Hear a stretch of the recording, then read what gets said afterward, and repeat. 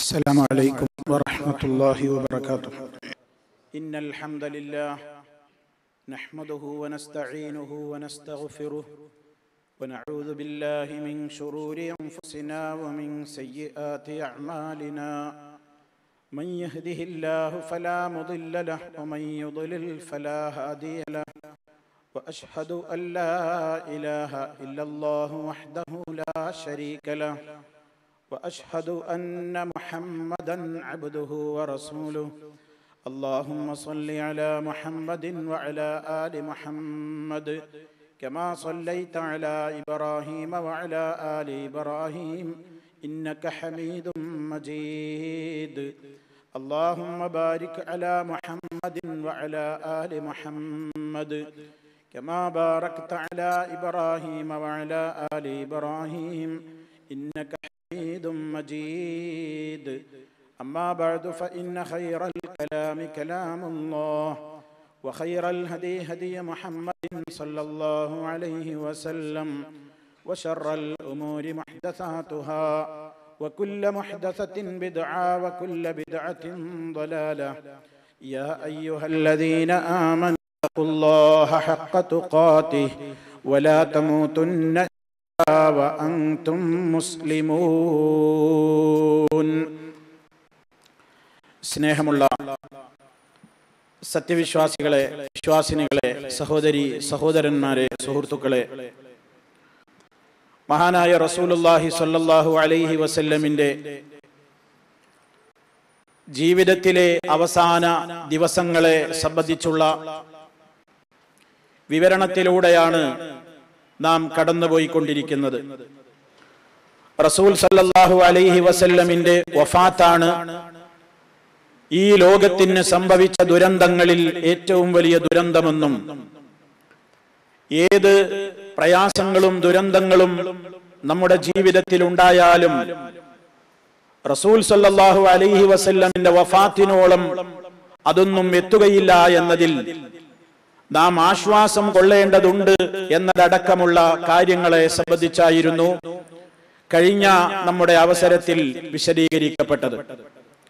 റസൂൽ സല്ലാഹു അലൈഹി വസല്ലമിന്റെ വഫാത്തിന് കാരണമായ രോഗത്തിന്റെ തുടക്കം ചരിത്രത്തിൽ നിന്ന് വളരെ വ്യക്തമായി തന്നെ സഹാബിമാർ രേഖപ്പെടുത്തിയതായി നമുക്ക് കാണുവാൻ സാധിക്കും.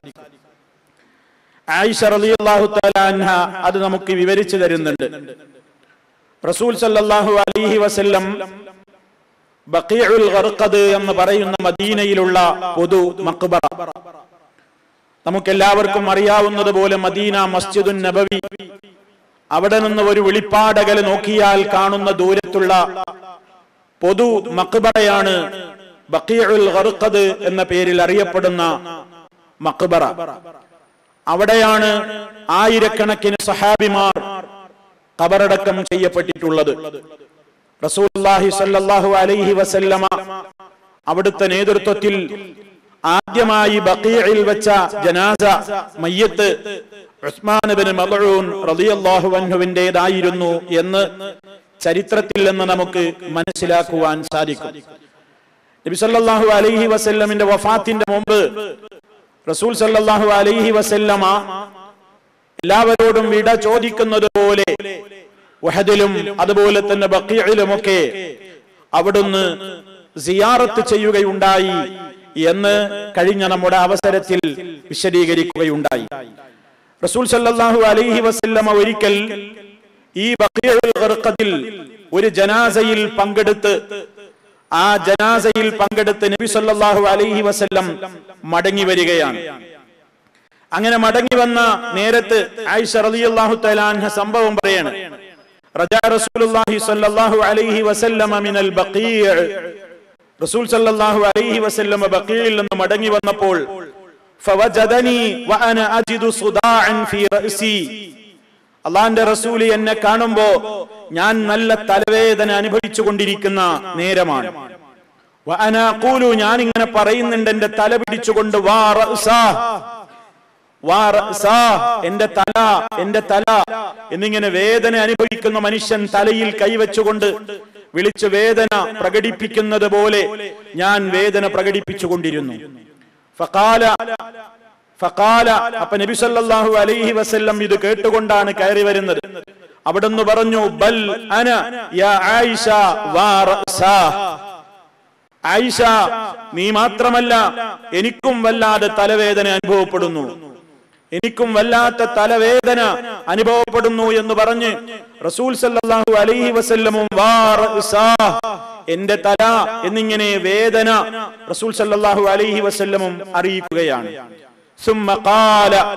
പിന്നീട് നബി സല്ലല്ലാഹു അലൈഹി വസല്ലമ ആയിഷ റളിയല്ലാഹു അൻഹയോട് ഒരു കാര്യം പറഞ്ഞു.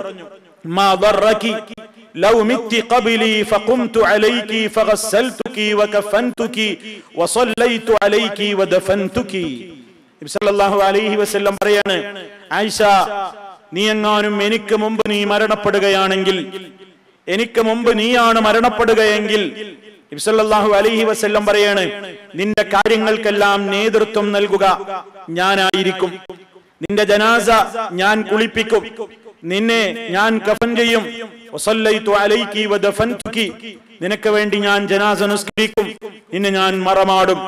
എന്നിങ്ങനെ നബി സല്ലാഹു അലൈഹി വസല്ലമ അതിലൂടെ ഒരു പാഠം കൂടി ഐഷ റളിയല്ലാഹു അള്ളാഹു അൻഹക്ക് പകർന്നു നൽകുകയാണ്. അവിടുത്തെ വീട്ടിൽ റസൂൽ സല്ലല്ലാഹു അലൈഹി വസല്ലമിന്റെ വീട്ടിൽ ഇത്തരം സന്ദർഭങ്ങളിലും സാഹചര്യങ്ങളിലുമൊക്കെ ഏതേത് ഘട്ടങ്ങളിലും റസൂലുള്ളാഹി സല്ലല്ലാഹു അലൈഹി വസല്ലമ മരണത്തെക്കുറിച്ചുള്ള ചിന്ത മരണത്തെക്കുറിച്ചുള്ള ബോധം തന്നിൽ തന്റെ കുടുംബാംഗങ്ങൾക്കിടയിലൊക്കെ എപ്പോഴും ഉണർത്താറുണ്ടായിരുന്നു എന്നുകൂടി ഇതിൽ നിന്ന് നമ്മൾ മനസ്സിലാക്കേണ്ടതുണ്ട്. മാത്രമല്ല മറ്റൊരു പാഠം കൂടി ഇതിലുണ്ട്. സല്ലല്ലാഹു അലൈഹി വസല്ലമ റളിയല്ലാഹു അൻഹയോടാണല്ലോ ഇത് പറയുന്നത്. എനിക്ക് മുമ്പ് നീ മരിച്ചാൽ നിന്നെ കുളിപ്പിക്കുക അതുപോലെ തന്നെ കഫൻ ചെയ്യുക എന്നൊക്കെ പറഞ്ഞല്ലോ. നമ്മുടെ നാടുകളിലൊക്കെ നിലനിൽക്കുന്ന ഒരു ധാരണക്കുള്ള തിരുത്തുകൂടിയാണത് ചില നാടുകളിലൊക്കെ ഇപ്പോഴുണ്ടോ എന്നറിയില്ല. മുമ്പ് കാലത്തൊക്കെ പലരും പറയുകയും പ്രചരിപ്പിക്കുകയും പ്രവൃത്തിപരത്തിൽ കൊണ്ടുവരികയും ചെയ്തിരുന്ന ഒരു കാര്യമുണ്ട്. ഭാര്യ മരണപ്പെട്ട് കഴിഞ്ഞാൽ ഭർത്താവിന് ആ ജനാസ കാണാൻ പാടില്ലെന്ന വിശ്വാസം. കാരണം മരണത്തോടുകൂടി ത്വലാഖ് സംഭവിച്ചു എന്നാണ് അവർ പ്രചരിപ്പിച്ചത്. ഒരാളുടെ മരണത്തോടുകൂടി ആ പെണ്ണുമായിട്ടുള്ള ബന്ധം ത്വലാഖ് പോയിരിക്കുന്നു. അതുകൊണ്ട് മരണം നടന്നാൽ ആ പെണ്ണ് തികച്ചും അന്യയാണ്. അതുകൊണ്ട് കാണാൻ പാടില്ല തൊടാൻ പാടില്ല കുളിപ്പിക്കാൻ പാടില്ല അതൊന്നും പാടില്ല എന്നൊരു ധാരണ സമൂഹത്തിൽ എങ്ങനെയോ പ്രചരിപ്പിക്കപ്പെട്ടിട്ടുണ്ട്.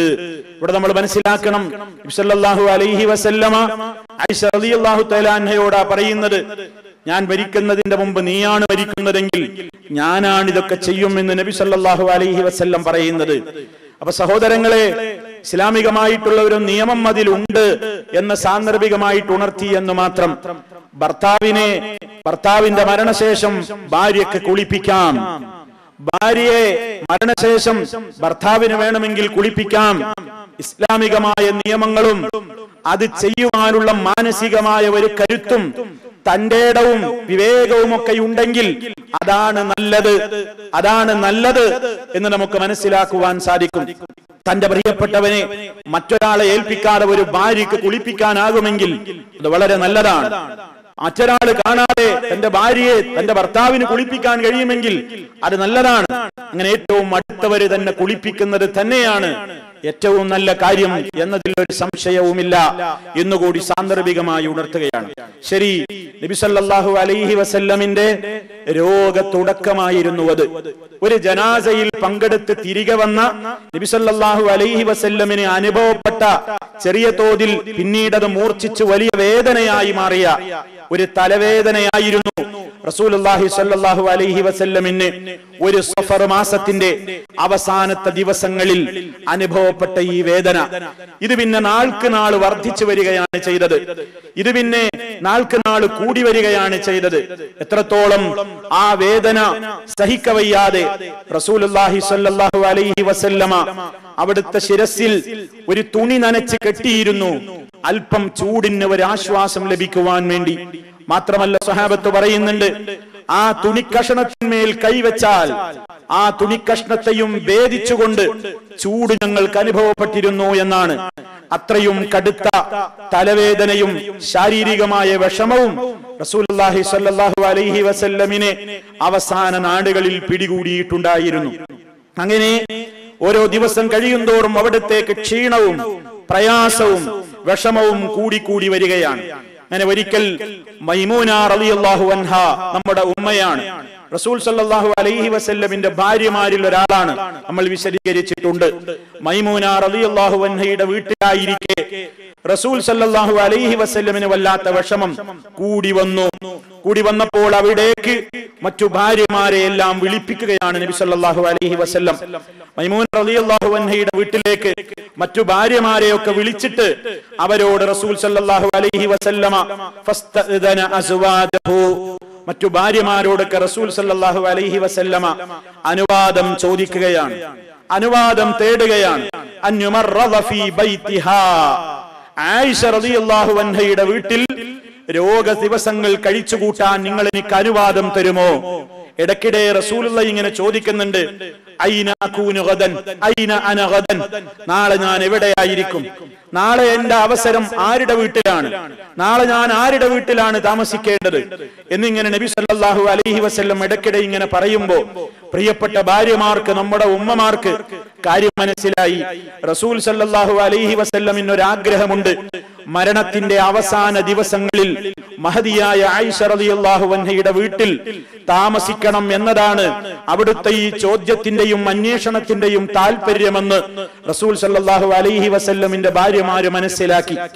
അതുകൊണ്ട് തന്നെ സ്വല്ലല്ലാഹു അലൈഹി വസല്ലമിന്റെ ആ ആഗ്രഹത്തിന് അവർ വകവെച്ചു കൊടുത്തു. അവരെല്ലാവരും അനുവാദം കൊടുത്തു പ്രവാചകരെ ഇനിയുള്ള ദിവസങ്ങളിൽ നിങ്ങൾ ഞങ്ങളിൽ ആരുടെ വീടുകളിലും വരണ്ട. എല്ലാ ദിവസങ്ങളും ഇതാ നിങ്ങൾക്ക് നിങ്ങളുടെ ഇഷ്ടം പോലെ ആയിഷ റളിയല്ലാഹു അൻഹയുടെ വീട്ടിൽ കഴിയാൻ ഞങ്ങളൊക്കെ പെർമിഷൻ തരുന്നു എന്ന് എല്ലാ ഭാര്യമാരും റസൂലുള്ളാഹി സ്വല്ലല്ലാഹു അലൈഹി വസല്ലമിന് അനുവാദം കൊടുത്തു. അങ്ങനെ അനുവാദം കിട്ടിയപ്പോൾ ഫഖറജ റസൂൽ സല്ലല്ലാഹു അലൈഹി വസല്ലമ മൈമൂന ബീവിയുടെ വീട്ടിൽ നിന്ന് ആയിഷ ഉമ്മ ബീവിയുടെ വീട്ടിലേക്ക് താമസം മാറുകയാണ്. ആ പോകുന്ന രംഗം ക്ഷീണിതനായ നബി സല്ലല്ലാഹു അലൈഹി വസല്ലമിന്റെ ശാരീരികമായ ക്ഷീണത്തിന്റെ അവസരം നിങ്ങൾക്ക് മനസ്സിലാക്കാം ഹദീസിൽ നിന്ന്. വയദുല്ലഹു അലൽ ഫضل ഇബ്നു അബ്ബാസ് വയദുല്ലഹു അലാ റജുലിൻ ആഖർ വഹുവ യഖുത്തു ബിരിജ്ലൈഹി ഫിൽ അർദി. റവാഹു മുസ്ലിം റഹിമഹുല്ലാഹ് എന്താണ് ഇതിൽ പറയുന്നത്? റസൂൽ സല്ലാഹു അലൈഹി വസല്ലമ പുറപ്പെട്ടു. രണ്ട് സഹാബിമാരുടെ ചുമലിൽ കൈവച്ചുകൊണ്ടാ പുറപ്പെടുന്നത്. ഒറ്റയ്ക്ക് നടക്കാനുള്ള ആരോഗ്യം നഷ്ടപ്പെട്ടിരിക്കുന്നു. അത്രയും അവിടത്തേക്ക് ക്ഷീണം പിടികൂടിയിരിക്കുന്നു വേദന സഹിക്കാൻ വയ്യ. ആ പ്രയാസഘട്ടത്തിൽ ആയിഷ റളിയല്ലാഹു അൻഹയുടെ വീട്ടിലേക്ക് മാറി താമസിക്കാൻ വേണ്ടി മൈമൂന റളിയല്ലാഹു അൻഹയുടെ വീട്ടിൽ നിന്ന് റസൂലുള്ള ഫളൽ ഇബ്നു അബ്ബാസ് റളിയല്ലാഹു അൻഹുവിന്റെയും മറ്റൊരാളുടെയും ആരാണ് ആ മറ്റൊരാളെന്ന് ഹദീസിൽ കാണാം. റജുലുൻ ആഖർ അലിയുൻ റളിയല്ലാഹു അൻഹു. അലി നബി താലിബ് റളിയല്ലാഹു അൻഹു. ഒരു ഭാഗത്ത് അലി ഒരു ഭാഗത്ത് ഫതൽ. രണ്ടാളുടെയും ചുമലിൽ ഇങ്ങനെ കൈവച്ച് അവരുടെ ചുമലിൽ തൂങ്ങി. നബി സല്ലല്ലാഹു അലൈഹി രണ്ടാൾ ചുമലിൽ കഴിച്ചിട്ട് നടന്നു പോകല്ല ആ പോകുന്ന രംഗം ഭൂമിയിൽ അവിടുത്തെ കാലുകൾ ഇങ്ങനെ വരക്കുന്നുണ്ട് ഭൂമിയിൽ ആ മണലിൽ അവിടുത്തെ കാലുകൊണ്ട് ഇങ്ങനെ വരവീഴുന്നുണ്ട് എന്ന് പറഞ്ഞാൽ ഇരു ചുമലുകളിലും തൂങ്ങിപ്പിടിച്ച് പാദം നിലത്തൂന്നി നടക്കാൻ പോലും ആരോഗ്യമില്ലാതെ വിഷമിച്ച മഹാനായ നേതാവ് സ്വല്ലല്ലാഹു അലൈഹി വസല്ലമ അവിടുത്തെ പെരുവിരൽ ഇങ്ങനെ തൂങ്ങി നിൽക്കണം. പാദം അല്പം ഉയർന്നിട്ടുണ്ട്. ആ പെരുവിരൽ ഇങ്ങനെ പാദം ഇങ്ങനെ നിലത്ത് കൂടെ വലിച്ചഴച്ചിങ്ങനെ പോകുമ്പോ ഒരു വര ആ മണലിലൂടെ ഇങ്ങനെ കാണുന്നുണ്ട്. എന്നാണ് ആ രംഗത്തിന് സാക്ഷികളായ സഹാബിമാർ രേഖപ്പെടുത്തിയിട്ടുള്ളത്. അങ്ങനെ വളരെയേറെ ക്ഷീണം പ്രകടമായി നബി സല്ലല്ലാഹു അലൈഹി വസല്ലമ ആയിഷ റളിയല്ലാഹു അൻഹയുടെ വീട്ടിലേക്ക് എത്തുകയാണ്. ഇവിടെ സാന്ദർഭികമായ ഒരു കാര്യം കൂടി സഹോദരങ്ങളെ ഗുണപാഠമായി നമ്മൾ പഠിക്കേണ്ടതുണ്ട്. ഇവിടെ മൈമൂന അൻഹയുടെ വീട്ടിൽ വെച്ച് അള്ളാന്റെ റസൂൽ മറ്റു ഭാര്യമാരോട് അവസാന നിമിഷത്തിൽ വരെ പെർമിഷൻ ചോദിക്കുകയാണ്. റസൂൽ സല്ലാഹു അലൈഹി വസല്ലമിന്റെ തികഞ്ഞ നീതിബോധത്തിന്റെ അടയാളമാണ് ആ കാണുന്നത്. അവിടുന്ന് നേതാവാണ്. ലോകത്തിന് മുഴുവൻ മാതൃകയാണ്. ഒന്നിലേറെ ഭാര്യമാരുണ്ടായിരുന്ന നബി സല്ലാഹു അലൈഹി വസല്ലം ലോകത്തോട് പറഞ്ഞിട്ടുണ്ട് നിങ്ങൾക്ക് നീതി പാലിക്കാനാവില്ലെങ്കിൽ നിങ്ങൾ ഒന്നിൽ മതിയാക്കണം എന്ന് റസൂൽ സല്ലല്ലാഹു അലൈഹി വസല്ലമ ധാരാളം ഭാര്യമാരുണ്ടായിരുന്ന അവിടുന്ന് എല്ലാവരോടും തുല്യനീതിയാണ് പുലർത്തിയിട്ടുള്ളത്. അത് മരണത്തോടടുക്കുന്ന അന്തിമഘട്ടങ്ങളിൽ വരെ ആ നീതിബോധം മഹാനായ റസൂലുള്ളാഹി സ്വല്ലല്ലാഹു അലൈഹി വസല്ലം പാലിച്ചു എന്നാണ് ഈ സംഭവം നമുക്ക് പഠിപ്പിച്ചു തരുന്നത്. അതുകൊണ്ടല്ലേ പെർമിഷൻ ചോദിക്കേണ്ടി വരുന്നത്? അതല്ലെങ്കിൽ അള്ളാന്റെ റസൂൽ പറഞ്ഞാൽ മതി ഞാൻ ഇനിയുള്ള ദിവസങ്ങളിൽ ആയിഷയുടെ വീട്ടിലാണ് താമസിക്കുക എന്നങ്ങ് പറഞ്ഞ് അള്ളാന്റെ റസൂലാണ്ട് പോയാൽ ഒരു ഭാര്യമാരും അതിന് ചോദ്യം ചെയ്യില്ല. നമ്മുടെ ഉമ്മമാരാരും അതിന് തടസ്സം നിൽക്കില്ല. എന്നിട്ടും നബി അലൈഹി വസല്ലമ എന്ത് ചെയ്യുകയാണ്? അവിടുത്തെ ഭാര്യമാരോട് അനുവാദം ചോദിക്കുകയാണ്. നിങ്ങൾ എനിക്ക് അനുവാദം തന്നാൽ നിങ്ങൾ എനിക്ക് പെർമിഷൻ തന്നാൽ നിങ്ങൾക്ക് ഇഷ്ടമാണെങ്കിൽ ഞാൻ അങ്ങനെ ചെയ്തോട്ടെ എന്നൊക്കെയുള്ള ആഗ്രഹം പ്രകടിപ്പിക്കലുകൾ മാത്രമായിരുന്നു നബി സല്ലല്ലാഹു അലൈഹി വസല്ലം ചെയ്തത്. മറിച്ച് ഗൗരവത്തോടെ ഒരു കൽപ്പനാസ്വരത്തിൽ ഞാനൊരു ഭർത്താവാണ്. ഞാൻ പറയുന്നത് നിങ്ങൾ അങ്ങ് കേട്ടോളണം എന്ന ഒരു ഗൗരവ സ്വരം അവിടുത്തെ ജീവിതത്തിന്റെ അവസാന ഘട്ടങ്ങളിൽ പോലും കാണാൻ നമുക്ക് സാധ്യമല്ല സല്ലല്ലാഹു അലൈഹി വആലിഹി വസല്ലം. മഹാനായ റസൂലുള്ളാഹി നീതിക്ക് വേണ്ടി ലോകത്ത് നിലകൊണ്ട നേതാവ് ജനങ്ങൾക്കിടയിൽ പക്ഷപാതിത്വത്തിനെതിരെ അനീതിക്കെതിരെ അധർമ്മത്തിനെതിരെ അവസാന നിമിഷം വരെയും പോരാടുകയും ശബ്ദിക്കുകയും ചെയ്ത മഹാനായ റസൂലുള്ളാഹി സ്വല്ലല്ലാഹു അലൈഹി വസല്ലം. അവിടുത്തെ ആ രോഗത്തിന്റെ ദിവസങ്ങളിൽ ഐഷ റളിയല്ലാഹു അൻഹയുടെ വീട്ടിലെത്തിയതിന്റെ ശേഷമുള്ള ദിവസങ്ങളെ പറ്റി നമ്മുടെ ഉമ്മ ഐഷ റളിയല്ലാഹു അൻഹ ചില കാര്യങ്ങൾ പറയുന്നുണ്ട്. എന്താണത്? റസൂൽ സല്ലല്ലാഹു അലൈഹി വസല്ലമിന് വേണ്ടി ഞാനായിരുന്നു മന്ത്രം നടത്തിയിരുന്നത് രോഗിയായി കിടക്കുന്ന നബി സല്ലാഹു അലൈഹി വസല്ലമിന് വേണ്ടി ഷിഫക്ക് വേണ്ടി ഞാൻ മന്ത്രം നടത്തിയിരുന്നു ഞാൻ മന്ത്രിച്ചിരുന്നു എന്ന് ആയിഷ റളിയല്ലാഹു അള്ളാഹു തലാൻഹ പറയുന്നുണ്ട്. മഹദി പറയുകയാണ് അലൈഹി വസല്ലം كان إذا اشتكى يقرأ على نفسه بالمعذبات وينفس فلما اشتد وجعه كنت أقرأ عليه وأمسح بيده رجاء بركتها സഹിഹായ ഹദീസിൽ നമുക്ക് കാണാം ആയിഷ റളിയല്ലാഹു തആല അൻഹ പറയാണ് നബി സല്ലല്ലാഹു അലൈഹി വസല്ലമിന്റെ പതിവായിരുന്നു സ്വല്ലല്ലാഹു അലൈഹി പതിവായിരുന്നു. അവിടത്തേക്ക് രോഗം വന്നാൽ നമ്മൾ ശരിക്കും പഠിച്ചു വെക്കണം. രോഗം വന്നാൽ റസൂൽ സല്ലല്ലാഹു അലൈഹി വസല്ലമിന്റെ പതിവുകളിൽ പെട്ടതാണ് അവിടുന്ന് ചികിത്സിക്കുകയും ചെയ്യും. അതോടൊപ്പം ബിൽ മുഅവ്വിദാത്തുകൾ തനിക്ക് വേണ്ടി അവിടുന്ന് പാരായണം ചെയ്ത് ഊതാറുണ്ട്. നഫസ എന്ന് പറഞ്ഞാൽ ഊതി എന്നാണ്. ഈ സൂറത്തുകൾ ഓതി തന്റെ ശരീരത്തിൽ ഊതാറുണ്ട്. നബി സല്ലല്ലാഹു അലൈഹി വസല്ലമ. ഏതാണ് മുഅവ്വിദാത്ത്? ഒന്ന് സൂറത്തുൽ ഇഖ്ലാസ്. ഖുൽ ഹുവല്ലാഹു അഹദ്. രണ്ടാമത്തെ സൂറത്തുൽ ഫലഖ്. മൂന്നാമത്തെ സൂറത്തുൻ നാസ്. അപ്പോൾ ഇഖ്ലാസും മുഅവ്വറത്തൈനിയും ഈ മൂന്ന് സൂറത്തുകൾ കൊണ്ട് റസൂൽ സല്ലല്ലാഹു അലൈഹി വസല്ലമ വേദന വരുമ്പോഴും പ്രയാസം വരുമ്പോഴും വിഷമം വരുമ്പോഴും ഒക്കെ തനിക്ക് തന്നെ വേണ്ടി ഓതാറുണ്ട് എന്ന് നബി സല്ലല്ലാഹു അലൈഹി വസല്ലമിനെ സംബന്ധിച്ച് ആയിഷ റളിയല്ലാഹു അൻഹ പറയാണ്. ഈ പതിവ് തെറ്റിച്ചിട്ടില്ല ഞാൻ. ആയിഷ ബിബി റളിയല്ലാഹു അൻഹ പറയാണ്. فلما اشتد وجعه അങ്ങനെ നബി സല്ലാഹു അലൈഹി വസല്ലമ എന്റെ വീട്ടിൽ രോഗിയായി കിടക്കുമ്പോൾ അവിടുത്തെ വേദന കഠിനമായ അവസരത്തിൽ കുൻതു അലൈഹി അവിടുത്തേക്ക് വേണ്ടി ഈ സൂറത്തുകൾ ഓതിക്കൊടുത്തിരുന്നത് ഞാനായിരുന്നു.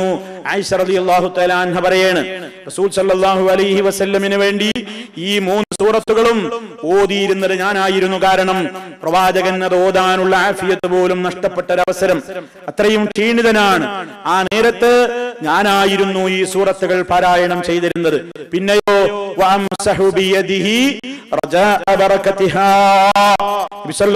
അലൈഹി വസല്ലമിന്റെ കൈ കൊണ്ട് തന്നെ അവിടുത്തെ ശരീരത്തിൽ ഞാൻ തടവി കൊടുത്തിരുന്നു. ഞാൻ ഓതിയിട്ട് എന്റെ കൈ കൊണ്ടല്ല തടവിയിരുന്നത്. പിന്നെന്താ? റസൂൽ സല്ലല്ലാ ഞാൻ ഓതും എന്നിട്ട് നബിതങ്ങളുടെ കൈ കൊണ്ട് തന്നെ റസൂലുള്ളാന്റെ ശരീരത്തിൽ ഞാൻ തടവി കൊടുക്കും. എന്തിനാ? എന്റെ കൈക്കില്ലാത്ത പറക്കത്ത് നബി സല്ലല്ലാഹു അലൈഹി വസല്ലമിന്റെ കൈകൾക്കുണ്ട്. റസൂലുള്ളാഹി സല്ലല്ലാഹു അലൈഹി കൈകളുടെ ബറക്കത്ത് ആഗ്രഹിച്ചുകൊണ്ട് റസൂലുള്ളാന്റെ കൈ കൊണ്ട് തടവുന്നത്ര പ്രത്യേകത എന്റെ കൈ കൊണ്ട് തടവിയാലില്ല. അതുകൊണ്ട് ഓത്ത് ഞാൻ നിർവഹിക്കും. തടവൽ ഹബീബിന്റെ കൈ കൊണ്ട് തന്നെയായിരുന്നു എന്ന് ആയിഷ പറയുന്നുണ്ട്. നബി സല്ലല്ലാഹു അലൈഹി വസല്ലമിന്റെ കൈക്ക് ബറക്കത്തുണ്ട് അവിടുത്തെ മുടിക്ക് ബറക്കത്തുണ്ട് അതുപോലെ തന്നെ അവിടുത്തെ ശരീരത്തിൽ നിന്ന് പൊടിഞ്ഞ വിയർപ്പ് ബറക്കത്തിന് വേണ്ടി സഹാബത്ത് ഉപയോഗപ്പെടുത്തിയിട്ടുണ്ട്. അതുപോലെ തന്നെ റസൂലുള്ളാഹി സല്ലല്ലാഹു അലൈഹി വസല്ലമിന്നിൽ നിന്നുള്ള സുഗന്ധം അവർ അനുഭവിച്ചിട്ടുണ്ട്. അവിടുന്ന് ശരീരത്തിൽ അണിഞ്ഞിട്ടുള്ള കമ്മീസ് വസ്ത്രം സഹാബത്ത് ബറക്കത്തിന് വേണ്ടി ഉപയോഗപ്പെടുത്തിയിട്ടുണ്ട്. അതിലൊന്നും സംശയമില്ല.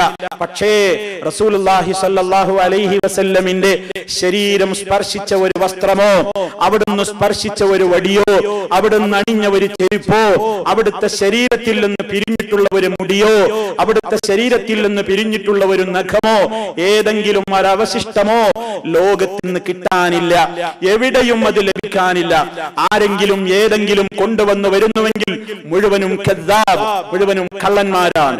മുഴുവനും ചതിയന്മാരാണ് ഇതിനിടെയാണ് ഇപ്പോൾ നബി സല്ലല്ലാഹു അലൈഹി വസല്ലമിന്റെ മുടിയാണെന്ന് പറഞ്ഞുകൊണ്ട് നമ്മുടെ കേരളക്കരയിലും മറ്റ് രാജ്യങ്ങളിലുമൊക്കെ ആളുകളെ വളരെയേറെ തെറ്റിദ്ധരിപ്പിച്ചിട്ടുള്ള ആളുകളിതാ ഇപ്പോൾ അവസാനം കഴിഞ്ഞയാഴ്ച കോഴിക്കോട് വെച്ച് ഒരു പാനപാത്രം ഉയർത്തി കാണിച്ചിരിക്കുന്നു. നബി സല്ലല്ലാഹു അലൈഹി വസല്ലം കുടിക്കാൻ ഉപയോഗിച്ച പാത്രമാണിത് എന്ന് പറഞ്ഞുകൊണ്ട് മനസ്സിലാക്കണം. റസൂൽ സല്ലാഹു അലൈഹി വസ്ല്ലം കുടിക്കാൻ ഉപയോഗിച്ച പാനപാത്രമാണിത് എന്ന് പറഞ്ഞുകൊണ്ട് കോഴിക്കോട് സ്റ്റേജിൽ വെച്ച ഒരാൾ ഒരു പാത്രം ഉയർത്തി കാണിച്ചിട്ട് ആളുകളോട് പറയാതെ മുത്തനബി കുടിച്ച പാത്രാണ്. എന്തും വിശ്വസിക്കാൻ ആളെ കിട്ടുന്ന ഒരു ലോകം. ഹബീബിന്റെ പേരിൽ കള്ളം പറയുന്നത് റസൂൽ സല്ലല്ലാഹു അലൈഹി വസല്ലം സ്പർശിച്ചിട്ടില്ലാത്ത അവിടുന്ന് തൊട്ടിട്ടില്ലാത്ത അവിടുന്ന് കുടിക്കാൻ ഉപയോഗിച്ചിട്ടില്ലാത്ത ഒരു പാത്രത്തെ പറ്റി ഇത് റസൂലുള്ളാന്റെ പാത്രമാണെന്ന് പറയുന്നത് അവിടുന്ന് പറഞ്ഞിട്ടില്ലാത്തത് പറഞ്ഞു എന്ന് പറയുന്നവനെ പോലെ ചെയ്തിട്ടില്ലാത്തത് ചെയ്തു എന്ന് പറയുന്നവനെ പോലെ അംഗീകരിച്ചിട്ടില്ലാത്തതിനെ കുറിച്ച് അംഗീകാരം കൊടുത്തു എന്ന് പറയുന്നവനെ പോലെ മൻ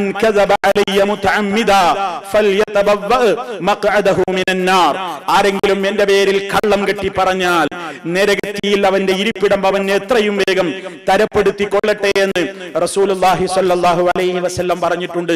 സഹോദരങ്ങളെ ചതിയന്മാർ വഞ്ചകന്മാർ അതുപോലെ തന്നെ ഏറ്റവും കൂടുതൽ ഹബീബ് സല്ലാഹു അലൈഹി വസല്ലമിന്റെ പേരിൽ ചൂഷണം നടത്തുന്ന ആളുകൾ ഇനി എന്തൊക്കെ നാളെ കൊണ്ടുവരാനിരിക്കുന്നു എന്നതിൽ നാം സന്ദേഹിക്കേണ്ടതില്ല ഒരുപക്ഷെ നാളെ നബിയും സഹാബത്തും ഒരുമിച്ച് പാകം ചെയ്തിട്ടുള്ള ചെമ്പാണിത് എന്ന് പറഞ്ഞിട്ട് വലിയൊരു വട്ടച്ചെമ്പിനി നാളെ സ്റ്റേജിൽ കൊണ്ടുവന്നുകൂടായികയില്ല.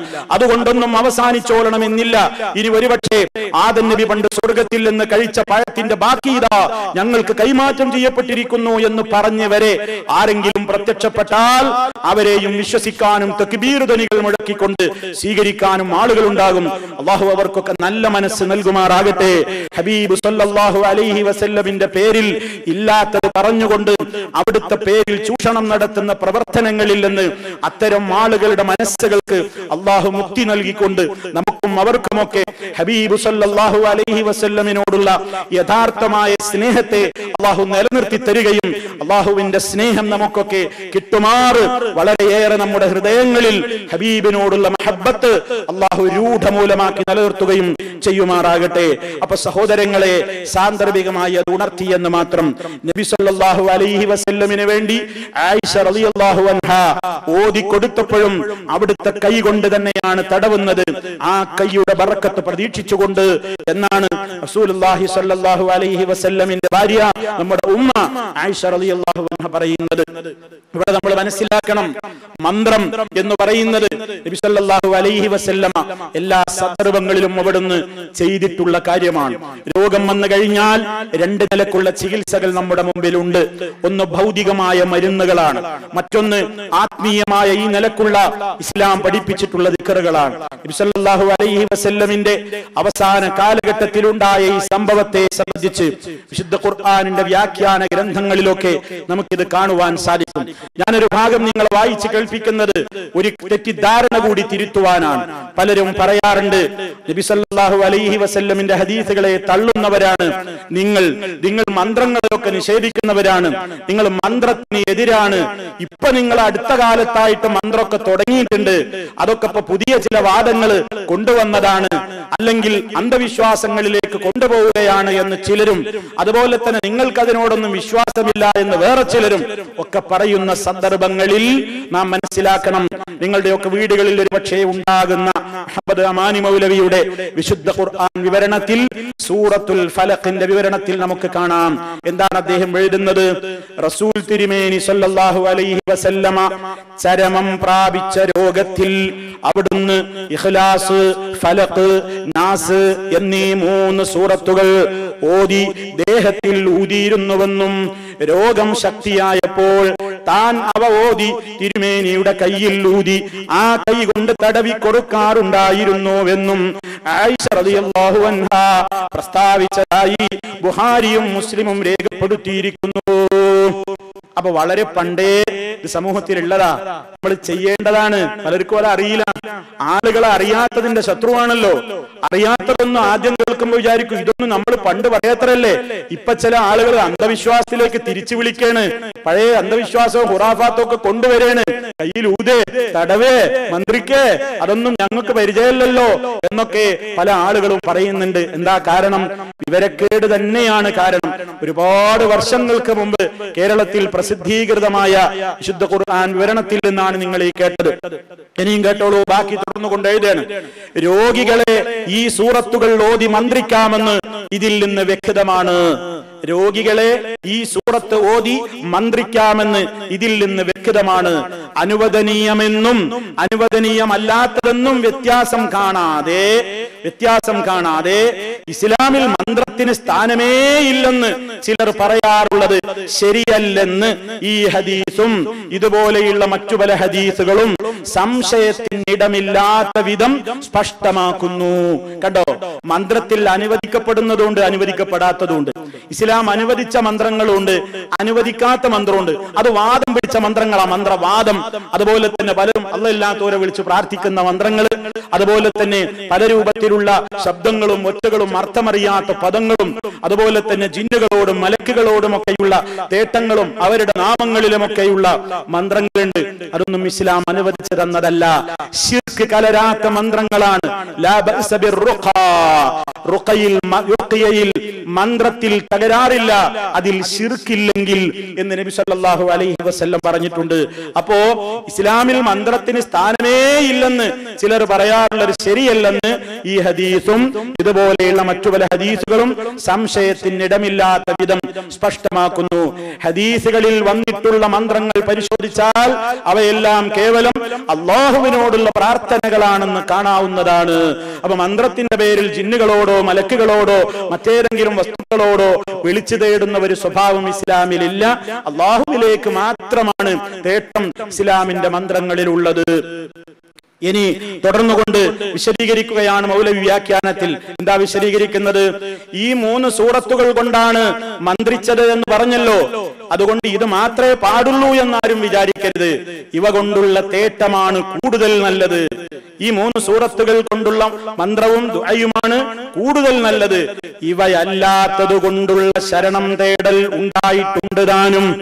ഇതല്ലാത്ത ആയത്തുകളും ഇതല്ലാത്ത പ്രാർത്ഥനകളും കൊണ്ടും വേറെയും എന്തിയിട്ടുണ്ട്? നബിസല്ലല്ലാഹു അലൈഹി വസല്ലം രോഗശമനത്തിന് മന്ത്രിച്ചിട്ടുണ്ട്. എല്ലാവിധ കെടുതികളിൽ നിന്നുമുള്ള രക്ഷതേടൽ മൊത്തത്തിലും വിശദ രൂപത്തിലും ഈ രണ്ട് സൂറത്തുകളിൽ അടങ്ങിയിരിക്കുന്നതാണ് തിരുമേനി അവ കൊണ്ട് മതിയാക്കുവാൻ കാരണം. അപ്പൊ ഈ സൂറത്തുകളിൽ പ്രത്യേകം എല്ലാ തിന്മകളിൽ നിന്നുമുള്ള കാവൽ തേട്ടം അടങ്ങിയതുകൊണ്ടാണ് വിസല്ലാഹു അലൈഹി വസല്ലമ ഇതുകൊണ്ട് മതിയാക്കാൻ കാരണം. തുടർന്നു കൊണ്ട് വീണ്ടും പറയുക നമ്മൾ മനസ്സിലാക്കേണ്ട വിഷയമാണ് മൂന്ന് നിബന്ധനകൾ ഒത്തുവന്നാൽ മന്ത്രങ്ങൾക്ക് വിരോധമില്ല എന്നുള്ളതിൽ പണ്ഡിതന്മാർ യോജിച്ചിരിക്കുന്നു. മന്ത്രം നടത്തണമെങ്കിൽ മൂന്ന് നിബന്ധന വരണം. പണ്ഡിതന്മാരുടെ ഇജ്മാ ആണ് യോജിപ്പാണ്. ഒന്ന് അള്ളാഹുവിന്റെ വാക്യമോ അവന്റെ നാമങ്ങളോ അവന്റെ ഗുണവിശേഷങ്ങളോ കൊണ്ടായിരിക്കണം. അള്ളാന്റെ ഇസ്മുകൾ അള്ളാന്റെ വാക്കുകൾ അള്ളാഹുവിന്റെ ഗുണവിശേഷങ്ങൾ ഇതുകൊണ്ടൊക്കെ മാത്രമേ മന്ത്രിക്കാൻ പാടുള്ളൂ. രണ്ട് അറബി ഭാഷയിലോ അർത്ഥം അറിയാവുന്ന മറ്റു ഭാഷയിലോ ആയിരിക്കണം. അർത്ഥറിയാത്ത ചില ഒച്ചയും ബഹളവും വിളിയും അതൊന്നും മന്ത്രത്തിന്റെ പേരിൽ പറ്റൂല. കുറെ വാക്കുകൾ കൊണ്ട് മന്ത്രിക്കുന്നത് നമ്മുടെയൊക്കെ ചില ആളുകൾ എഴുതിവിട്ടിട്ടുള്ള പുസ്തകങ്ങളിൽ കാണാം. എന്താ ഇതിന്റെ മായന അവർക്കും അറിയില്ല വായിക്കുന്നവനും അറിയില്ല അച്ചടിച്ചവനും അറിയില്ല വിതരണം ചെയ്യുന്നവനും അറിയില്ല വിൽക്കുന്നവനും അറിയില്ല അത് ചൊല്ലുന്നവനും അറിയില്ല. ഇങ്ങനത്തെ മന്ത്രം അത് ഇസ്ലാമിൽ ഇല്ല മൂന്നാമത്തെ നിയമം ഫലം ചെയ്യുവാൻ മന്ത്രത്തിന് സ്വയം ശക്തിയില്ല. അള്ളാഹു മാത്രമാണ് ഫലം നൽകുന്നവൻ എന്ന വിശ്വാസം ഉണ്ടായിരിക്കണം. ഈ മന്ത്രമാണ് എന്നെ സുഖപ്പെടുത്തുന്നതെന്ന് കരുതരുത്. ഇതൊരു സബബാണ്. ഇത് അല്ല നിശ്ചയിച്ച ഒരു കാരണമാണ്. സുഖപ്പെടുത്തുന്നവൻ അള്ളാഹുവാണ് എന്ന വിശ്വാസം ഉണ്ടായിരിക്കണം. എന്നിട്ട് കുറെ കാര്യങ്ങൾ വിശദീകരിച്ച ശേഷം ആ സൂറത്തുൽ ഫലത്തിന്റെ വ്യാഖ്യാനത്തിൽ മൗലവി വീണ്ടും പറയാണ്. ഹസൻ ഹുസൈൻ റളിയല്ലാഹു അൻഹുമാ. എന്നിവർക്ക് വേണ്ടി നബി സല്ലല്ലാഹു അലൈഹി വസല്ലമ ഇപ്രകാരം ശരണം തേടിയിരുന്നതായി ഇബ്നു അബ്ബാസ് റളിയല്ലാഹു അൻഹുമാ പ്രസ്താവിച്ചിരിക്കുന്നു. ഹസൻ ഹുസൈൻ റളിയല്ലാഹു അൻഹുവിന് വേണ്ടി പേരക്കുട്ടികളായ ഹസൻ റളിയല്ലാഹുവിനും ഹുസൈൻ അലി റളിയല്ലാഹുവിനെയും ചേർത്ത് പിടിച്ച് നബിസല്ലാഹു വസല്ലം അവർക്ക് വേണ്ടി കാവൽ ചോദിച്ചു.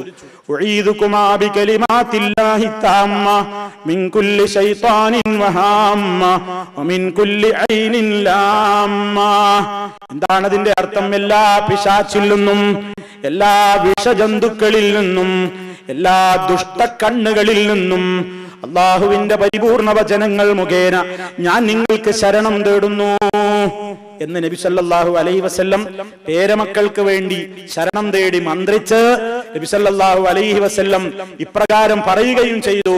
നിങ്ങളുടെ പിതാവായ ഇബ്രാഹിം നബി അലൈഹിസ്സലാം തന്റെ മക്കളായ ഇസ്മായിൽ നബി അലൈഹിസ്സലാമിനും ഇസ്ഹാഖ് നബി അലൈഹിസ്സലാമിനും ഇപ്രകാരം ശരണം തേടിയിരുന്നു.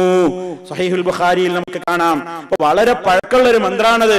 കുട്ടികൾക്ക് കണ്ണേർ ബാധിക്കാതിരിക്കാൻ പൈശാചിക ബാധകളിൽ നിന്ന് മുക്തമാവാൻ വിഷജന്തുക്കളുടെ ശരിയിൽ നിന്ന് മുക്തമാവാൻ എല്ലാവിധത്തിലുള്ള വേദനകളിൽ നിന്നും രക്ഷ കിട്ടാനൊക്കെ ഉമ്മമാര് മക്കൾക്ക് നൽകേണ്ടുന്ന. അതേ ചൊല്ലേണ്ടുന്ന ദുആകളിൽ പ്രാർത്ഥനകളിൽ റുഖിയകളിൽ പെട്ട ഒരു മന്ത്രവും പ്രാർത്ഥനയും ദുആയുമാണ് ഇത് എന്ന് നമുക്ക് മനസ്സിലാക്കുവാൻ സാധിക്കും. മാത്രമല്ല വീണ്ടും പറയാണ് നബി സല്ലല്ലാഹു അലൈഹി വസല്ലമ തിരുമേനി രോഗികളെ മന്ത്രിച്ചിരുന്ന ഒരു പ്രാർത്ഥന ഇപ്രകാരമാണ്. അല്ലാഹുമ്മ റബ്ബന്നാസ് അദ്ഹിബിൽ ബഅസ ഇഷ്ഫി അൻത ലാ ശിഫാഅ ഇല്ലാ ശിഫാഉക ശിഫാഅൻ ലാ യുഗാദിറു സഖ്മാ. അല്ലാഹുവേ ജനങ്ങളുടെ രക്ഷിതാവേ നീ വിഷമങ്ങളെ നീക്കിക്കളയണമേ. നീയാണ് സുഖം നൽകുന്നവൻ. അതിനാൽ നീ സുഖം നൽകണമേ. നിന്റെ സുഖപ്പെടുത്തലല്ലാതെ ഒരു സുഖപ്പെടുത്തലുമില്ല. ഒരു വേദനയും വിട്ടു ബാക്കിയാവാത്ത നിലക്കുള്ള സമ്പൂർണ ശമനം നീ പ്രദാനം ചെയ്യണമേ എന്ന് നബി സല്ലല്ലാഹു അലൈഹി വസല്ലമ രോഗികളെ സന്ദർശിക്കുമ്പോൾ രോഗികൾക്ക് വേണ്ടി മന്ത്രിക്കാറുണ്ടായിരുന്നു അപ്പോ സാന്ദർഭികമായിട്ട് സഹോദരങ്ങളെ ഇത് ഉണർത്തി എന്ന് മാത്രം എന്നിട്ടും ഇപ്പൊ ചില ആളുകൾ പറയേണ്ട അല്ല നിങ്ങൾ മന്ത്രത്തിന് എതിരാണ് ഒരു കൂട്ടർ അല്ല നിങ്ങൾ ഈ പറയുന്ന ഈ പരിപാടി ഒന്നും ഇസ്ലാമിൽ ഇല്ലാത്തതാണ്. ഇതൊന്നും നമുക്ക് പരിചയമില്ലാത്ത നിങ്ങളിപ്പോ ഇവിടുന്ന് കൊണ്ടുവന്ന് പഴയ അന്ധവിശ്വാസത്തിലേക്ക് ഉറാഫാത്തിലേക്ക് കൊണ്ടുപോകുകയാണ് ഒരു കൂട്ടര്. വേറൊരു കൂട്ടർ നിങ്ങൾക്കല്ല ഈ അതീതിലുള്ള മന്ത്രമൊന്നും നിങ്ങൾക്ക് ഇല്ല എന്ന് പറഞ്ഞ് നിങ്ങൾ ഇതൊന്നും അംഗീകരിക്കാത്തവരാണ്. ഉള്ളതിനെ പോലും തള്ളി ഇസ്ലാമിലെ പലതിനെയും വെട്ടിച്ചുരുക്കുന്നവരാണ് നിങ്ങളെന്ന ആക്ഷേപം വേറൊരു വശത്തും. ഇത് രണ്ടിന്റെ ഇടയിലാണ് സത്യം. രണ്ട് വിഭാഗവും പറയുന്നത് ആരോപണങ്ങൾ മാത്രമാണ്. വസ്തുത ഇതിനകം എന്റെ ശ്രോതാക്കൾ മനസ്സിലാക്കിയിരിക്കും എന്ന് ഞാൻ ആശ്വസിക്കുകയാണ്. ശരി സഹോദരന്മാരെ അപ്പൊ നബി സല്ലല്ലാഹു അലൈഹി വസല്ലമിന് ആയിഷ റളിയല്ലാഹു അവിടുത്തെ വീട്ടിൽ താമസിച്ചു കൊണ്ടിരിക്കുന്ന അവസാന നാളുകളിൽ ഇങ്ങനെ ശിഫക്ക് വേണ്ടി ഈ രൂപത്തിൽ ആയത്തുകൾ ഓതി മന്ത്രിച്ചു ദുആ ചെയ്തിരുന്നു എന്നിപ്പോൾ നമ്മൾ മനസ്സിലാക്കി കഴിഞ്ഞു. മാത്രമല്ല റസൂൽ സല്ലല്ലാഹു അലൈഹി വസല്ലമിന്റെ സ്ഥിതി അവിടുത്തെ ആരോഗ്യ സ്ഥിതി ഓരോ ദിവസം കഴിയും തോറും പ്രയാസകരമായി വന്നു. ക്ഷീണവും വേദനവും നാൾക്ക് നാൾ കൂടി വരികയാണ്. ഇത്രത്തോളം പറയുന്നുണ്ട് മിൻ റസൂലില്ലാഹി സ്വല്ലല്ലാഹു അലൈഹി വസല്ലം. അള്ളാഹുവിന്റെ റസൂൽ സല്ലാഹു അലൈഹി വസല്ലമിന് അനുഭവപ്പെട്ടതുപോലെയുള്ള വേദന കടുത്ത വേദന അനുഭവിച്ച ഒരാളെയും ഞാൻ കണ്ടിട്ടില്ല. അത്ര നബി സല്ലാഹു അലൈഹി വസല്ലമിന് വേദനയുണ്ടായിരുന്നു എന്ന് അവിടുന്ന് പറഞ്ഞിട്ട് ഐഷ റളിയല്ലാഹു അള്ളാഹു തലാൻഹാദ് റിപ്പോർട്ട് ചെയ്തതാണ്. അബ്ദുല്ലാഹിബിൻ മസൂദ് റളിയല്ലാഹു അൻഹു ഒരിക്കൽ പറയാണ് ദഖൽതു അലാ റസൂലില്ലാഹി സല്ലല്ലാഹു അലൈഹി വസല്ലം. ഞാൻ റസൂൽ സല്ലാഹു അലൈഹി വസ്ല്ലമിന്റെ അരികിലേക്ക് പ്രവേശിച്ചു. രോഗം കാണാൻ ചെല്ലുകയാണ് സഹാബത്ത് അള്ളാന്റെ റസൂൽ വളരെ വിഷമിച്ചു കിടക്കുന്ന അവസരത്തിൽ ഐഷ അള്ളാഹു അൻഹയുടെ വീട്ടിലേക്ക് ഇബ്നു മസ്ഊദ് അള്ളാഹു അൻഹു രോഗം കാണാൻ ചെല്ലുമ്പോ റസൂൽ സല്ലാഹു അലൈഹി വസല്ലമിന് കഠിനമായ വേദന കൊണ്ട് പിളയുകയാണ്. കഠിനമായ വേദന കൊണ്ട് പിളയാണ്. ബിയദി ഞാൻ എന്റെ കൈ കൊണ്ട് അവിടുത്തെ ശരീരത്തിൽ ഇങ്ങനെ സ്പർശിച്ചു. സ്പർശിച്ചിട്ട് ഞാൻ ചോദിച്ചു യാ റസൂലല്ലാ അള്ളാഹുവിന്റെ റസൂലേ ഇന്നക്കല്ല തൂഴക്ക് വഴക്കൻ ശരീദാ അങ്ങക്ക് വല്ലാത്ത വേദനയുണ്ടല്ലേ? ധാരാളമായി കഠിനമായ വേദനയുണ്ടല്ലേ? ആ ചൂട് ശരീരത്തിന്റെ ചൂടും വിറയലും ഒക്കെ അനുഭവപ്പെട്ടപ്പോ ബിൻ മസൂദ് അൻഹു ചോദിക്കുകയാണ്. റസൂൽ സല്ലല്ലാഹു അലൈഹി വസല്ലം മൊഴിഞ്ഞു അജൽ അതെ ഇന്നീ ഊഅകു കമാ യൂഅകു റജുലാനി മിൻകും. അതേ ഇബന് മസൂദേ നിങ്ങളുടെ കൂട്ടത്തിലെ രണ്ടാൾക്ക് അനുഭവപ്പെടുന്ന പനിയും വേദനയും എനിക്ക് അനുഭവപ്പെടുന്നുണ്ട്. നിങ്ങളിലെ രണ്ടാൾക്ക് അനുഭവിക്കാൻ മാത്രമുള്ള വേദനയും പ്രയാസവും എനിക്ക് അനുഭവപ്പെടുന്നുണ്ട്. ഫഖുൽതു അപ്പോൾ ഇബ്നു മസ്ഊദ് റളിയല്ലാഹു അൻഹു പറഞ്ഞു താലിക അന്നലക അജ്റൈൻ ഓ നബിയേ നിങ്ങൾക്ക് അതുകൊണ്ട് രണ്ട് കൂലിയും ഉണ്ടാകുമല്ലോ. قال رسول الله صلى الله عليه وسلم അജൽ നബി സല്ലല്ലാഹു അലൈഹി വസല്ലം പറഞ്ഞു ഇബ്നു മസ്ഊദേ അതെ അതെ എനിക്ക് രണ്ടാളുടെ കൂലിയുമുണ്ട് എന്നിട്ടതാ രോഗം കാണാൻ വന്ന സഹാബിയോട് പോലും ആ നേരത്തും നബി സല്ലല്ലാഹു അലൈഹി വസല്ലമ ഇസ്ലാമിന്റെ ഒരു സന്ദേശം പഠിപ്പിച്ചു കൊടുക്കുന്നു. കിട്ടിയ ഒരവസരത്തിൽ പോലും അത് വിഷമിച്ചു കിടക്കുന്ന നേരമാണെങ്കിൽ പോലും തന്റെ സഹാബിക്ക് ഒരു ഗുണപാഠം അവിടുന്ന് പഠിപ്പിച്ചു കൊടുക്കുകയാണ്. റസൂൽ ഇബ്നു മസൂദ് റളിയല്ലാഹു പഠിപ്പിച്ചു കൊടുക്കുന്നു. ലോകത്തുള്ള സർവ ആളുകൾക്കും ആശ്വാസകരമായ ഒരു സന്ദേശം എന്താണ് ആ പഠിപ്പിച്ചു കൊടുത്തത്. മാമിൻ മുസ്ലിമിൻ യുസീബുഹു അദം മിൻ മറദിൻ ഫമാ സിവാഹു ഇല്ലാ ഹത്തല്ലാഹു ബിഹി സയ്യിആതിഹി കമാ തഹത്തു ശജറത്തു വറഖഹാ. റവാഹു മുസ്ലിം റഹിമഹുല്ലാ. അതെ നബി സല്ലല്ലാഹു അലൈഹി വസല്ലം പറയാണ് ഏതൊരു മുസ്ലിമായ മനുഷ്യനാണെങ്കിലും ഏതൊരു മുസ്ലിം ആണെങ്കിലും യുസീബുഹു അദം മിൻ മറദിൻ അവന് വല്ല രോഗവും ബാധിക്കുന്നതായാൽ അവന് വല്ല രോഗവും ബാധിക്കുന്നതാണെങ്കിൽ ഫമാ സിവാഹു ഇനി അതല്ലാത്ത മറ്റൊരു റിപ്പോർട്ടിൽ കാണാം.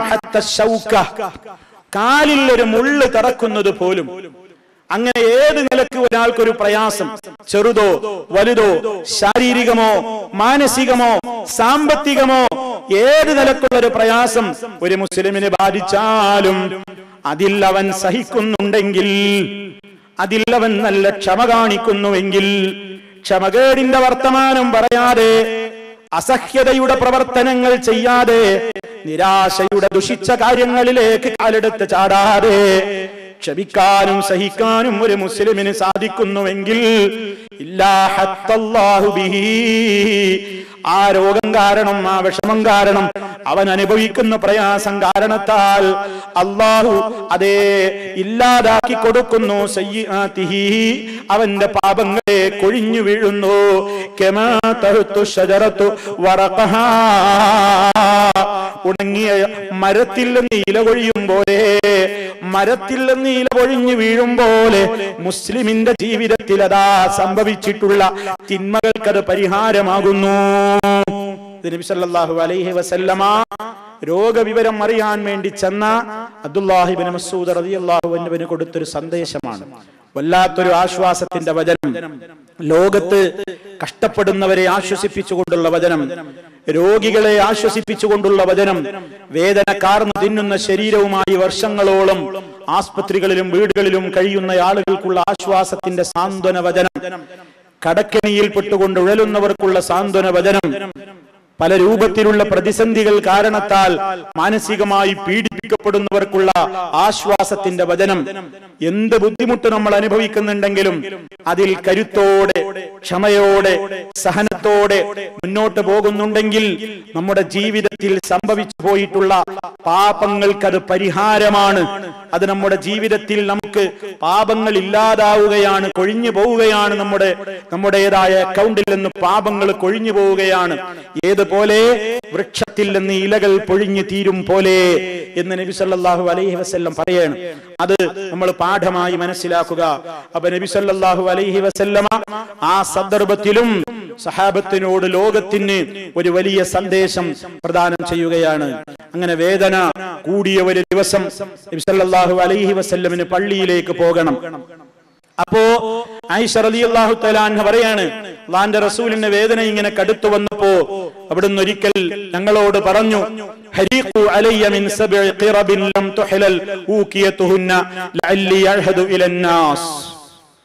നിങ്ങൾ എനിക്ക് വേണ്ടി ഏഴ് തോൽപാത്രങ്ങളുടെ കെട്ടഴിക്കാത്ത ഏഴ് തോൽപാത്രങ്ങളിൽ ഏഴ് തോൽപാത്രങ്ങളിൽ ശേഖരിച്ചു വെച്ചിട്ടുള്ള വ്യത്യസ്ത കിണറുകളിൽ നിന്ന് കൊണ്ടുവന്നിട്ടുള്ള ഏഴ് തോൽപാത്രങ്ങളിൽ കെട്ടിവെച്ചിട്ടുള്ള വെള്ളം ആ വെള്ളം നിങ്ങൾ എന്റെ ശരീരത്തിൽ ഒഴിച്ചു തരൂ. എന്തിനാണ് ഏഴ് തോൽപാത്രത്തിൽ നിന്ന് ഒഴിക്കാൻ പറഞ്ഞത്? നമുക്കറിയില്ല. അള്ളാഹു ആലം വിസല്ലാഹു അലൈഹി വസല്ലമിന്റെ നിർദ്ദേശമാണ്.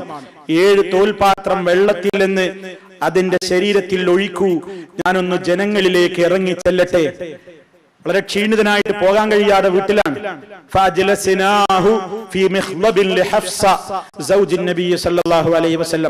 ഹഫ്സ വീട്ടിലുണ്ടായിരുന്ന ഒരു പാത്രം ഇറങ്ങിയിരിക്കാവുന്ന വലുപ്പത്തിലുള്ള ഒരു പാത്രത്തിൽ നബി സല്ലല്ലാഹു അലൈഹി വസല്ലമിനെ ഞങ്ങൾ ഇരുത്തി.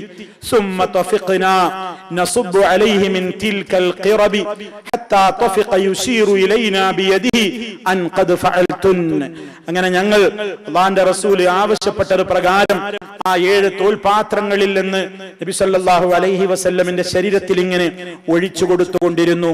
അങ്ങനെ കുറെ കഴിഞ്ഞപ്പോൾ അള്ളാന്റെ റസൂൽ ഞങ്ങളോട് ഇങ്ങനെ കൈ കൊണ്ട് ആംഗ്യം കാണിച്ചു. ഹസ്ബുക്കും ഹസ്ബുക്കും മതി മതി ഞാൻ പറഞ്ഞതുപോലെ നിങ്ങൾ ചെയ്തിട്ടുണ്ട് മതി മതി എന്നിങ്ങനെ അള്ളാന്റെ റസൂൽ ഇങ്ങനെ ആംഗ്യം കാണിച്ചു. അങ്ങനെ ഒരു ആശ്വാസം തോന്നുകയാണ് റസൂലുള്ളാക്ക് അങ്ങനെ മഹദിയായ ആയിഷ റളിയല്ലാഹു എന്ന് പറയാണ് സുമ്മ ഖറജ ഇലന്നാസ്. അങ്ങനെ നബി സല്ലല്ലാഹു അലൈഹി വസല്ലമ ജനങ്ങളിലേക്ക് ഇറങ്ങി പുറപ്പെട്ടു. ഫസല്ലാ ബിഹിം ജനങ്ങളെയും കൊണ്ട് ജമാഅത്ത് നിസ്കരിച്ചു. വഖതബഹും അവരോട് നബി സല്ലല്ലാഹു അലൈഹി വസല്ലമ ഖുതുബയിൽ ചില കാര്യങ്ങൾ ഉണർത്തുകയുണ്ടായി. എന്തൊക്കെ കാര്യങ്ങളാണ് ആ ഖുതുബയിൽ അവിടുന്ന് ഉണർത്തിയത്? വളരെ പ്രധാനപ്പെട്ട ചില കാര്യങ്ങളിലേക്ക് നബി സല്ലല്ലാഹു അലൈഹി വസല്ലം ശ്രദ്ധ ക്ഷണിച്ചിട്ടുണ്ട് ഒന്ന് താൻ പോവുകയാണെന്ന താൻ പോവുകയാണെന്ന സൂചന. കഴിഞ്ഞ ക്ലാസ്സിൽ നിങ്ങൾ കേട്ടതാണ്. അലൈഹി വസല്ലമ മിമ്പറിൽ ഇരുന്നു കൊണ്ട് അവിടുന്ന് പറഞ്ഞല്ലോ.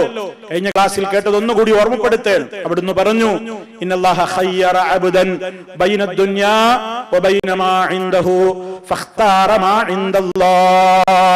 നിശ്ചയം അല്ലാഹു അവന്റെ ഒരു അടിമയ്ക്ക് ദുന്യാവിന്റെയും അവന്റെ അടുക്കലുള്ള സുഖങ്ങളുടെയും ഇടയ്ക്ക് തെരഞ്ഞെടുക്കാനുള്ള സ്വാതന്ത്ര്യം നൽകിയപ്പോൾ അടിമ അള്ളാന്റെ അടുക്കലുള്ളതാണ് തെരഞ്ഞെടുത്തിരിക്കുന്നത്. ഇത് അബൂബക്കർ സിദ്ദീഖ് റളിയല്ലാഹു അള്ളാഹു തലാനു അടക്കമുള്ള കേൾക്കുകയാണ് റസൂലുള്ള ഇത്ര പറഞ്ഞപ്പോഴേക്ക്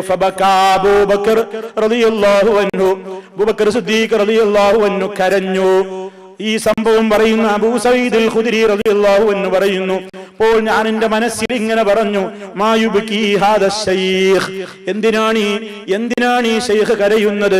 അള്ളാന്റെ റസൂൽ അള്ളാന്റെ റസൂൽ ഏതോ ഒരടിമക്ക് ദുന്യാവിന്റെയും അള്ളാഹുവിന്റെ അടുക്കലുള്ളതിന്റെയും ഇടക്കുള്ള തെരഞ്ഞെടുപ്പിന് സ്വാതന്ത്ര്യം കൊടുത്തപ്പോൾ ആ വ്യക്തി അള്ളാന്റെ അടുക്കലുള്ളത് തെരഞ്ഞെടുത്തു എന്ന് പറഞ്ഞതിന് എന്തിനാണ് ഈ ശൈഖ് കരയുന്നത്?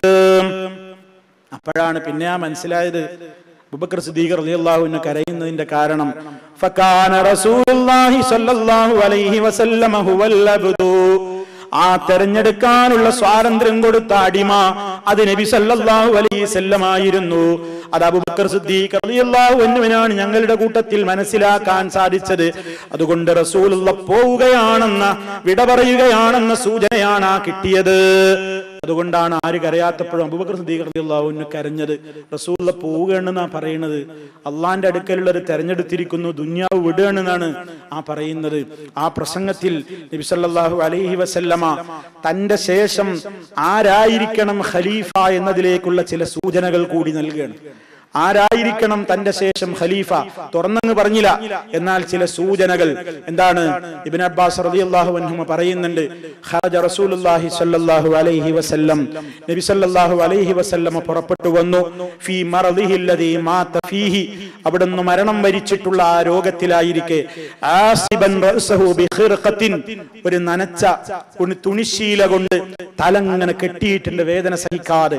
അങ്ങനെ തലയിൽ ഇങ്ങനെ കെട്ടി തുണി കൊണ്ട് കെട്ടി മുറുക്കിയിട്ട് നബി അലൈ വസ്ല്ലം പ്രയാസത്തോടെ പള്ളിയിൽ വന്നു. അലൽ മിമ്പർ മിമ്പറിന്റെ മോളിൽ അവിടുന്ന് ഇരുന്നു. ഹംദു പറഞ്ഞു അല്ലാഹുവിനെ പുകഴ്ത്തി സ്തുതിച്ചു.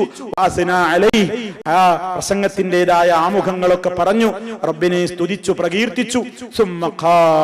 പിന്നീട് നബി അലൈ വസല്ലം പറഞ്ഞു. എന്താ പറഞ്ഞത്? إنه ليس من الناس أحد من علي في نفسه وماله من أبي بكر بن أبي قحافة. ولو كنت متخذا من الناس خليلا لاتخذت أبا بكر خليلا. ولكن خلة الإسلام أفضل. سدوا عني كل خوخة في هذا المسجد غير خوخة أبي بكر. റവാഹുൽ ബുഖാരി റഹിമഹുല്ലാ. എന്താ ഇവിടുന്ന് പറയുന്നത്? ജനങ്ങളെ ജനങ്ങളുടെ കൂട്ടത്തിൽ സ്വന്തം ശരീരം കൊണ്ടും സമ്പത്ത് കൊണ്ടും എന്നോട് ഏറ്റവും കൂടുതൽ അനുഗ്രഹം ചെയ്ത ഒരു മനുഷ്യനും ഉണ്ടായിട്ടില്ല. അബൂബക്കറോളം. അബൂബക്കറിനേക്കാൾ അബൂഖഹയുടെ മോനായ അബൂബക്കറിനോളം സമ്പത്ത് കൊണ്ടും ശരീരം കൊണ്ടും എന്നോട് കാരുണ്യം അനുഗ്രഹം കാണിച്ച ഒരാളും വേറെ മനുഷ്യരിൽ ഒരാളും ഉണ്ടായിട്ടില്ല. ഇവിടുന്ന് ഓർക്കുകയാണ്. അബൂബക്കർ സുദ്ദീഖ് അൻഹുവിന്റെ സേവനങ്ങൾ തന്റെ കൂടെ നിന്ന് പൊരുതിയ തനിക്ക് വേണ്ടി എപ്പോഴും കൂടെ നിന്ന് ആശ്വസിപ്പിച്ച സാന്ത്വനിപ്പിച്ച ബുബക്കർ സിദ്ദീഖ് റളിയല്ലാഹു അൻഹുവിനെ അവസാന നാളുകളിലും എടുത്ത് പ്രശംസിക്കുകയാണ്. എന്നിട്ട് അവിടുന്ന് ജനങ്ങളോട് പറയാണ് വലൗ ജനങ്ങളിൽ നിന്ന് ആരെങ്കിലും ഞാൻ ഖലീലായി പ്രഖ്യാപിക്കുകയായിരുന്നുവെങ്കിൽ ഖലീല. ഞാൻ അബൂബക്കർ ഖലീലായി പ്രഖ്യാപിക്കുമായിരുന്നു. അള്ളാഹു തല ഇബ്രാഹിം നബി അലൈഹിസ്സലാമിനെ ഇത്തഖദ അള്ളാഹു ഇബ്രാഹിമ ഖലീല. അള്ള ഇബ്രാഹിം അലൈഹിസ്സലാമിനെ ഖലീലാക്കിയതുപോലെ അല്ല എന്നെ ഖലീലാക്കിയതുപോലെ ഞാൻ ഖലീലായി പ്രഖ്യാപിക്കുകയായിരുന്നുവെങ്കിൽ അബൂബക്കറിനെ ആയിരിക്കും എന്റെ ഖലീലായിട്ട് ഞാൻ എന്ത് ചെയ്യുക? പ്രഖ്യാപിക്കുക. എന്നിട്ട് അവിടുന്ന് പറഞ്ഞു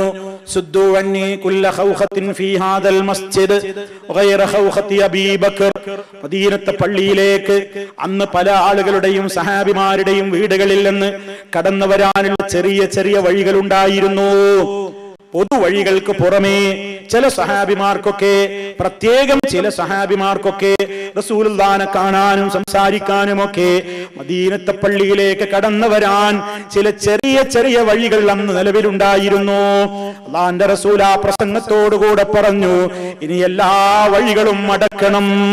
പൊതുവഴികൾ മാത്രം അവിടെ നിലനിർത്തിയിട്ട് സ്പെഷ്യലായി പല ആളുകളും മദീന പള്ളിയിലേക്ക് കടന്നു വന്നിരുന്ന ആ സ്പെഷ്യൽ വാതിലുകളും തുളകളുമൊക്കെ ഇനിയെല്ലാം അടച്ചു വെക്കണം. അബൂബക്കർ. കടന്നു വരുന്ന ആ വഴി ഒഴികെ അതടക്കരുത്. അതടക്കരുത്. അത് ഇനി അവിടെ തന്നെ നിലനിൽക്കട്ടെ. സല്ലല്ലാഹു അലൈഹി വസ്ല്ലമിന്റെ നിർദ്ദേശം. അപ്പോ ഇവിടെയൊക്കെ ഇതിലൊക്കെ അബൂബക്കർ സിദ്ദീഖ് റളിയല്ലാഹു അൻഹുവിനെ തന്റെ പിൻഗാമിയാക്കാൻ പോകുന്നു. തന്റെ ശേഷം ഖലീഫയാകേണ്ടത് അബൂബക്കർ സിദ്ദീഖ് റളിയല്ലാഹു അൻഹുവാണ് എന്ന നിലക്കുള്ള ചില സൂചനകൾ നമുക്ക് കാണുവാൻ സാധിക്കും. അതുപോലെ തന്നെ നബി സല്ലല്ലാഹു അലൈഹി വസല്ലം പിന്നീട് പറഞ്ഞത് അൻസാരികളായ സഹാബത്തിന്റെ കാര്യത്തിൽ ചില ഉപദേശങ്ങൾ കൊടുത്തു. അൻസാറുകൾ മക്കയിൽ നിന്ന് മദീനയിലേക്ക് വന്ന മുഹാജറുകളെ കൈമൈ മറന്നുകൊണ്ട് സഹായിച്ചവരാണ് മദീനയിലെ അൻസാറുകൾ. അവരോട് ജനങ്ങളെ നിങ്ങൾക്ക് വലിയ കടപ്പാടുണ്ട്. ഹദീസുകളിൽ നമുക്ക് കാണാം ഹബ്ബുൽ അൻസാരി മിനൽ ഈമാൻ. ഹബ്ബുൽ അൻസാരി മിനൽ ഈമാൻ അൻസാറുകളെ സ്നേഹിക്കൽ ഈമാനിൽപ്പെട്ടതാണ്. സഹാബത്തിനെ മൊത്തത്തിൽ സ്നേഹിക്കൽ തന്നെ നമ്മുടെ ഈമാനിന്റെ ഭാഗമാണ്. ഒരു സഹാബിയെയും തെറി പറയാൻ പാടില്ല. ഒരു സഹാബിയെയും ദുഷിച്ചു പറയാൻ പാടില്ല. ഒരു സഹാബിയെയും മോശക്കാരനാക്കി പറയാൻ പാടില്ല. അത് ഏറ്റവും വലിയ തെമ്മാടിത്തമാണ്. പാടില്ലാത്തതാണ്. ഈമാൻ ഇല്ലാത്തതിന്റെ ലക്ഷണമാണത്. അത് കുഫറിലേക്കാണ് ചെന്നെത്തിക്കുക. അതുകൊണ്ട് നബി സല്ലല്ലാഹു അലൈഹി പറഞ്ഞു ആ പ്രസംഗത്തിലും പറഞ്ഞു ബിൽ അൻസാർ. അൻസാരികളുടെ കാര്യത്തിൽ ഞാൻ നിങ്ങളോട് ഇതാ ഗൗരവത്തോടെ വസീയത്ത് പറയുന്നു. ഫൈന്നഹും സ്വകാര്യ സൂക്ഷിപ്പുകാരും സ്വന്തക്കാരുമാണ്. അൻസാറുകളെ നബി സല്ലല്ലാഹു അലൈഹി പലപ്പോഴും പ്രശംസിച്ചിട്ടുണ്ട്. മുമ്പും നിങ്ങൾ കേട്ടിട്ടുണ്ട്. മറ്റു പലർക്കും യുദ്ധത്തിൽ നിന്ന് കിട്ടിയ മുതലോഹരി വെക്കുമ്പോ സഹാബത്തിനോട് അൻസാറുകളിൽ ചിലർക്കൊക്കെ പ്രയാസം തോന്നിയപ്പോ അള്ളാന്റെ റസൂൽ അവരോട് ഒരൊറ്റ ചോദ്യം ചോദിച്ചപ്പോ ആയിരക്കണക്കിന് ദീനാറുകൾ കിട്ടുന്നതിനേക്കാളും അവർ സന്തോഷിച്ചു. എന്താ റസൂൽ അൻസാറുകളോട് ചോദിച്ചത്? നിങ്ങൾക്ക് ഞാനില്ലേ? നിങ്ങൾക്ക് ഞാനില്ലേ? അവർക്ക് ദീനാറും ദുർഹമൊക്കെ ഞാൻ കൊടുത്തു. ഞാൻ നിങ്ങളെ കൂടെ ആവരിക വരിക. ഞാൻ എപ്പോഴും നിങ്ങളുടെ കൂടെ ആയിരിക്കും. നിങ്ങൾക്ക് ഞാനില്ലേ?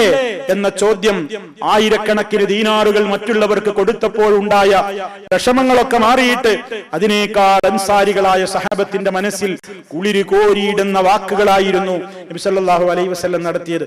അതുകൊണ്ട് തന്നെ അവിടുന്ന് പറയാണ് അവരെന്റെ സ്വന്തക്കാരാണ്. അലൈഹിം. അവർക്ക് അവരുടെ മേൽ എന്തൊക്കെ ബാധ്യതകൾ ഉണ്ടായിരുന്നോ അതൊക്കെ അവർ ഭംഗിയായി നിർവഹിച്ചിട്ടുണ്ട്. ഇനി അവർക്ക് കിട്ടേണ്ട കടമകളാണ് ബാക്കിയുള്ളത്. അത് നിങ്ങൾ കൊടുക്കണം. അവർ ചെയ്യേണ്ട കടമയൊക്കെ അവർ ചെയ്തിട്ടുണ്ട്. ഇനി നിങ്ങൾക്ക് അവരോട് അങ്ങോട്ടാണ് കടമ ബാക്കിയുള്ളത്. അതുകൊണ്ട് എന്തെങ്കിലും എന്റെ കാലശേഷം ഏതെങ്കിലും പ്രശ്നങ്ങളിൽ അൻസാറുകളുടെ കേസുകൾ വരികയാണെങ്കിൽ. അവരിലെ സുഹൃതവാന്മാരെ നിങ്ങൾ സ്വീകരിക്കൂ.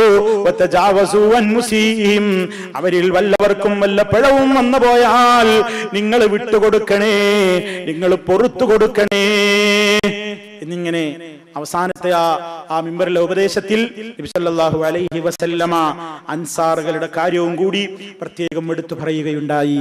ശേഷം പിന്നീട് നബി സല്ലല്ലാഹു അലൈഹി വസല്ലമിന് വളരെ ആവശ്യമായ ആ ഘട്ടത്തിൽ റസൂൽ സല്ലാഹു അലൈഹി വസല്ലമിന്റെ നിലയും അവിടുന്ന് പള്ളിയിലേക്കുള്ള അവസാനത്തെ പോക്കുമാണ് നമുക്ക് ഇനി വിശദീകരിക്കുവാനുള്ളത്.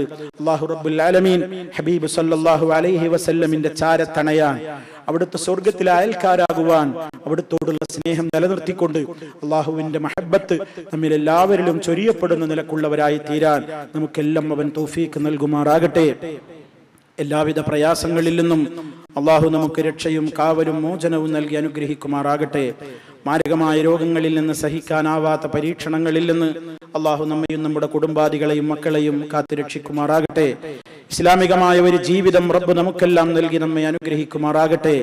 ഈ ലോകത്ത് നിന്ന് വിട പറയുന്ന നിമിഷം ഏറ്റവും സന്തോഷമുള്ള നേരമാക്കി അള്ളാഹു അനുഗ്രഹം ചൊരിഞ്ഞു നൽകുമാറാകട്ടെ اللهم ربنا تقبل منا انك انت السميع العليم وتب علينا انك انت التواب الرحيم واغفر لنا انك انت الغفور الرحيم اللهم اجعل هذا البلد امنا مطمئنا وسائر بلاد المسلمين ربنا تقبل منا انك انت السميع العليم والحمد لله رب العالمين. اللهم صل على محمد وعلى آل محمد. والسلام عليكم ورحمة الله وبركاته.